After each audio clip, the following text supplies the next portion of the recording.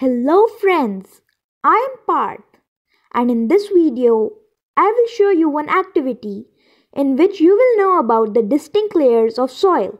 If you like this video, please like, share, comment and subscribe. Soil. It is the uppermost layer of the earth's crust. It is composed of distinct layers. To know about those distinct layers, today I am going to perform an activity. For this activity, we require a jar, a straw for stirring, a mug of water and some soil. I have taken this soil from my garden. You can take any other soil. So let's start. First, we will take the soil and put it in the jar.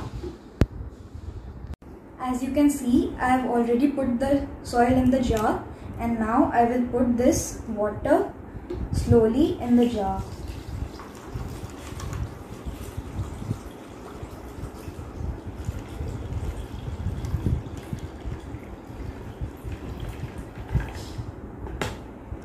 I've poured the water and I will stir it.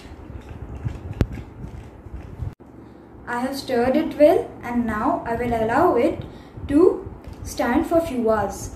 Now after 3 hours let us observe the contents of the jar. The lowest layer consists of gravel. The second layer from the bottom consists of sand particles. The third layer from the bottom consists of very fine particles of clay these particles settle down very slowly. The water above the clay is not completely clear, it still contains very fine particles of clay. Between clay and sand lies a thin layer of silt. The top layer consists of dark colored particles floating over the surface of water. It is called humus. Humus is the decaying dead remains of the plants and small animals. Humus is the organic matter of soil.